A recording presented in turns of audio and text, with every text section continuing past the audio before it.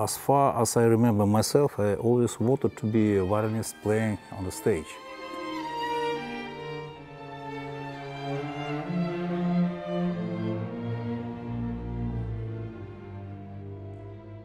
Uh, I don't know, it's nothing to do with the arrogance. Because uh, I wasn't really anything sort of particular during my formative years in school. At school, I wasn't really better than others, but uh, somehow I just believed myself. I just uh, sure that I would be standing here playing in front of the audience as a soloist.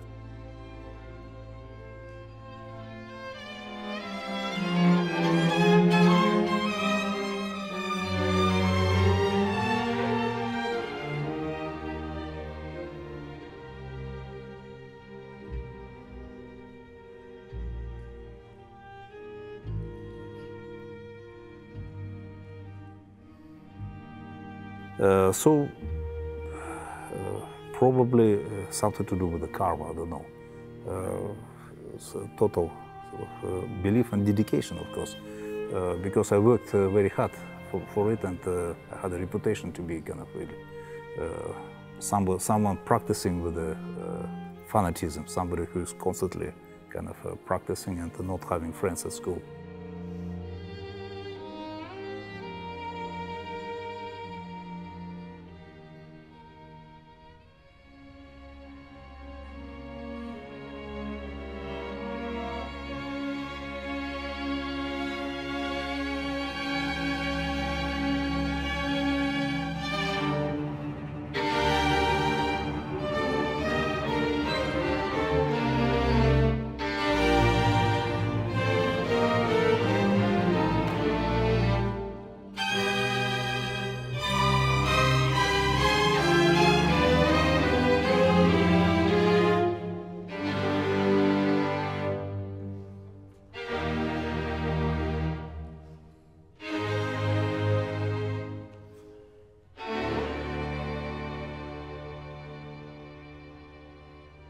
My real breakthrough came when I moved to Moscow, because that was a real sort of uh, very tough time, but a very great, great Moscow Conservative School, which uh, made uh, me as a, violinist.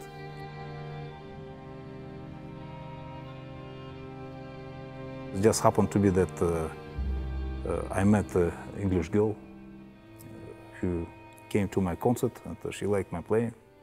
And then uh, I remember we were traveling after the concert. She just simply asked me, "Do you want to be my boyfriend?" And I was so shocked that I said yes.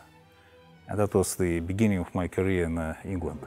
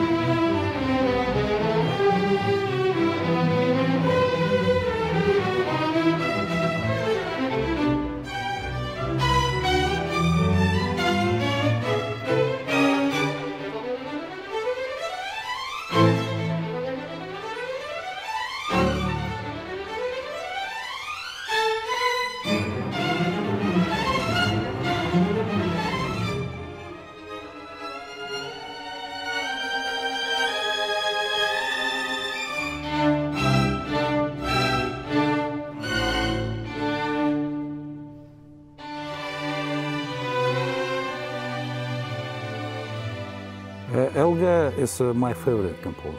Uh, Elgar is a composer who I probably dedicated most of my musical life.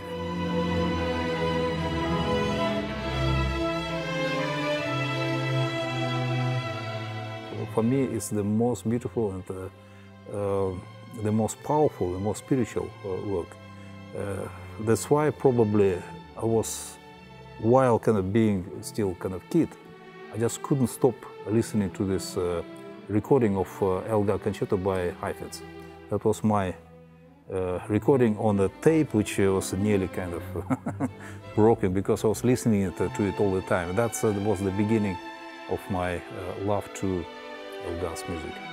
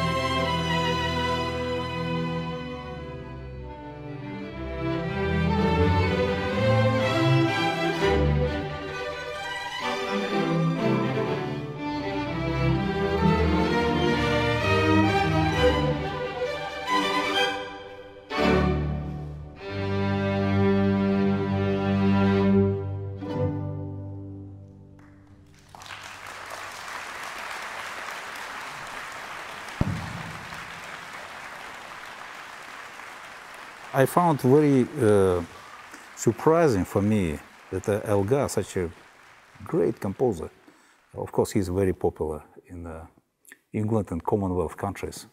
Yes, he's not uh, very popular in many other countries, including here in India.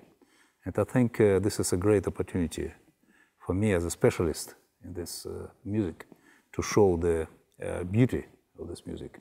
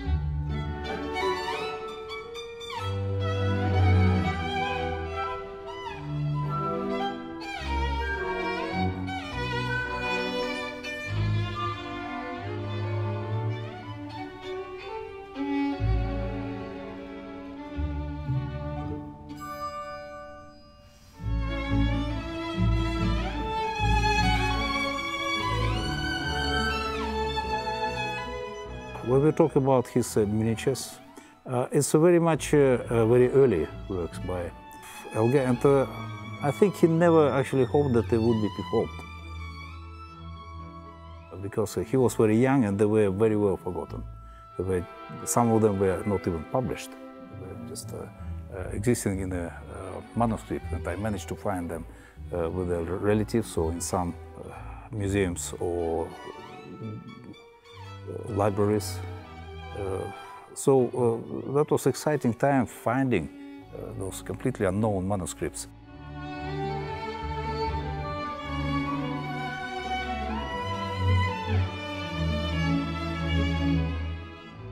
Right now, I do think that those pieces, they only get better with the treatment which we are doing with the playing with the orchestra because young uh, Elgar he didn't even think about uh, orchestrating it because he didn't have for, for that any opportunity. He didn't have a good orchestra in Worcestershire.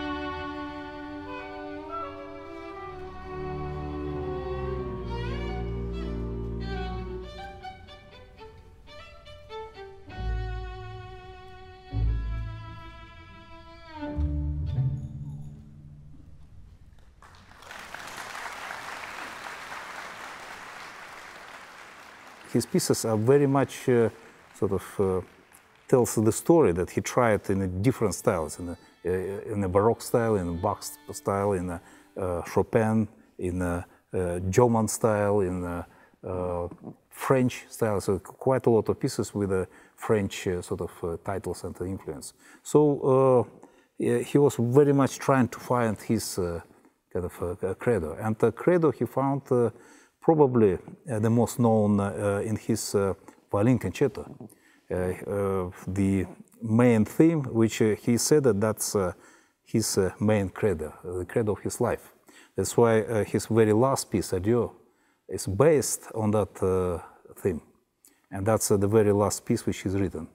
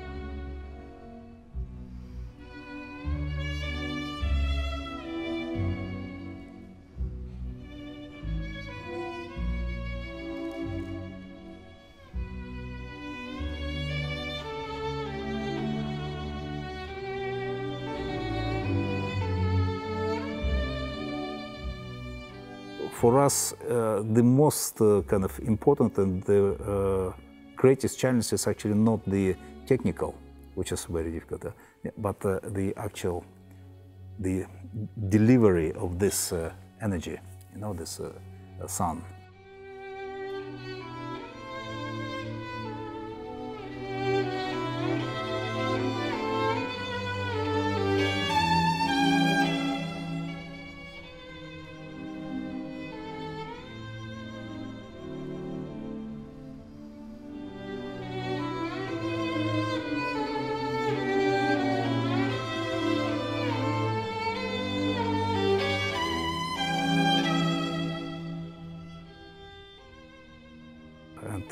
Pieces like, uh, for example, I do, I feel maybe uh, more deep now than uh, I used to do, whatever, 30 years ago.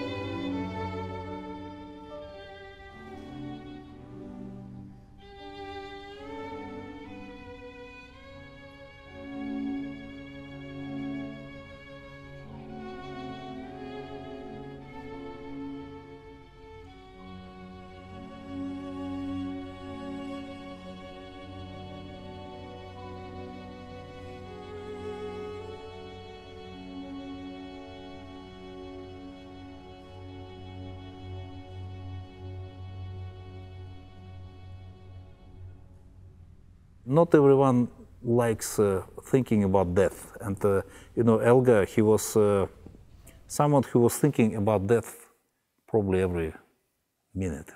You know, uh, his uh, whole manner and uh, I do think he, he was a real sort of bipolar.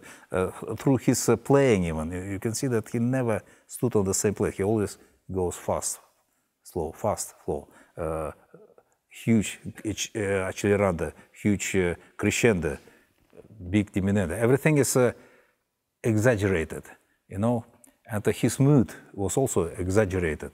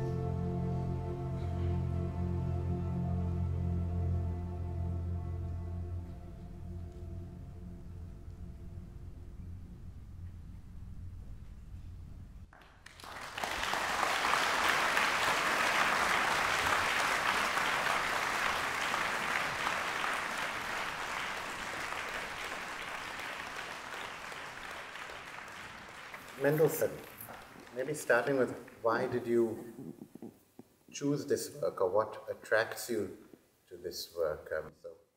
Well, you know, octet is a very well known for uh, incredibly difficult challenge. If you hear recordings by uh, really good uh, players, you, you find a lot of flaws. Uh, I, I never found a perfect recording of it. And I found the difficulties lies with the idealism of his writing because he was only 16 year old and he threw to it uh, to everything without thinking about the practical, about uh, uh, physical sort of capabilities of players playing it.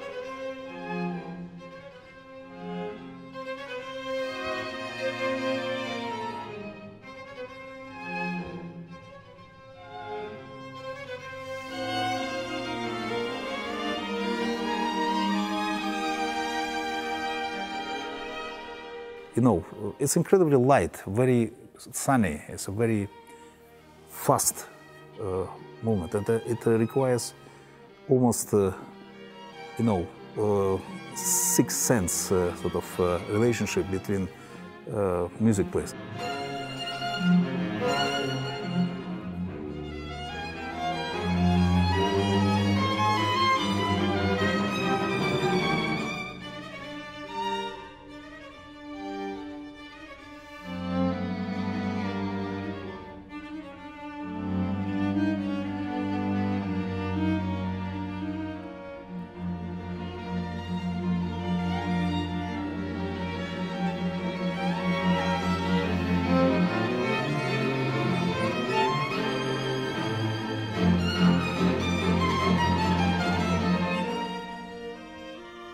I must say that uh, I wasn't really keen at first when uh, uh, took told me that uh, why don't you play this uh, piece? I said, mm, you know, this is uh, very difficult. No, this is my favorite piece. Why don't you play it? So I said, okay. So I started working, and uh, then I understood that actually you don't have to have the big name players. I found the advantage of playing with the musicians with whom I am playing for years and years. With some of them, I work uh, since uh, last century.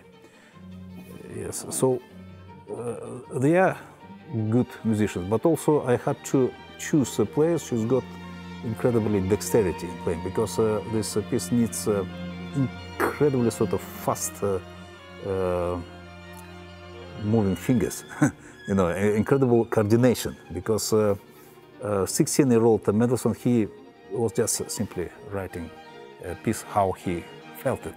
And uh, uh, it's a genius piece, but uh, to play it as he thought, it requires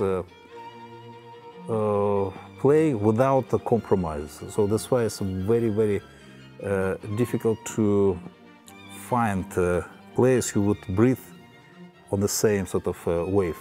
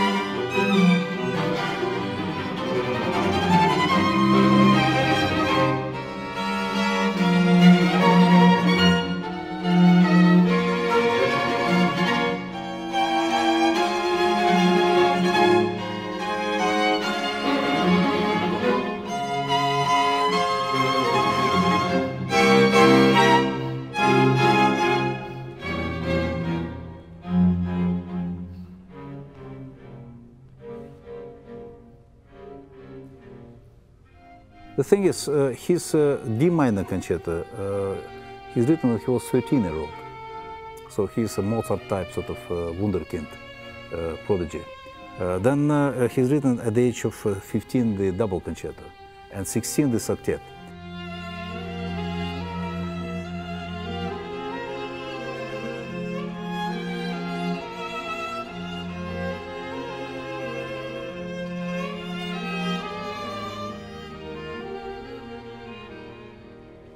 This sort of youth, this sort of sunshine and all this uh, incredible light power, light sort of uh, uh, rays, you know, uh, lots of uh, uh, light. And this is something which I, I try to get to my place to get this happiness, this love to. Uh, and I hope that they would, because when we rehearse, the most important thing is to enjoy and to love. If you love the uh, piece, you would definitely get it there. If you don't have it, uh, you are the you are the failure.